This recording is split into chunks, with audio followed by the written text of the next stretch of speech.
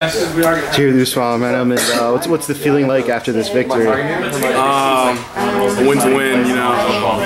Very very happy that we got it, but uh, we got a lot, we got a lot of stuff to clean up, and I think we'll be fine once we, once we watch the film and, and do that. What made Washington's offense uh, so effective? How much of that was Keith Price being able to extend plays? Uh, shoot, I, have said so much about Keith, Keith Price in the past. He's such a good quarterback. He's such a good football player. Very smart. I mean, of course, when you have a player like that on, on your offense, it makes things a lot easier. And let's not forget about their skill position players. Those guys, Bishop Sankey, the plethora of receivers that they have. I mean, it seemed impossible. they're a good team. They're top 15 team. And they gave us a run for our money, and luckily we were able to pull off the sloppy. But like I said, a win is a win, and we'll, we'll fix what we need to fix uh, this weekend. What were you thinking during that review in the fourth quarter?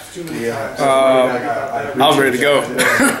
um, it's what we train for, uh, regardless of what they called. it. I think everyone on the defense is ready to strap it up and get get, get going. So, yeah. How much do you think being in one of these close games will help you guys moving forward?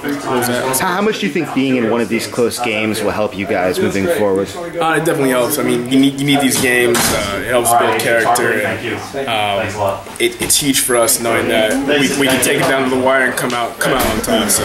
Thanks, guys. Uh, we were in a lot of these games last year, and it helped us helped us down the road. So it's good to see something like this early. All right, thanks, Usua. Congratulations.